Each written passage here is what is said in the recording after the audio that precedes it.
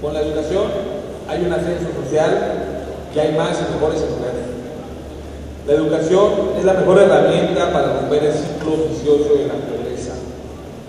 Una educación deficiente y truncada es factor de marginación, de segregación social, en la que no estamos dispuestos a que Quintana Roo esté en los primeros índices. Felicito al personal que desde hace 30 años está laborando de manera muy dura en esta institución para sacar adelante los programas de rezago educativo y sobre todo quiero felicitar al Estado de Quintana Roo y a las instituciones para batir el rezago educativo porque somos el tercer Estado de la República con menor rezago educativo de acuerdo a las cifras del Instituto Nacional para la Educación de los Adultos.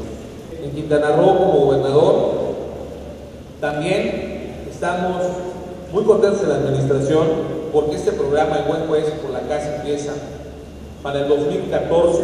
Estamos esperando logremos meta de que todos los empleados de la administración estatal cuenten con sus estudios de educación básica.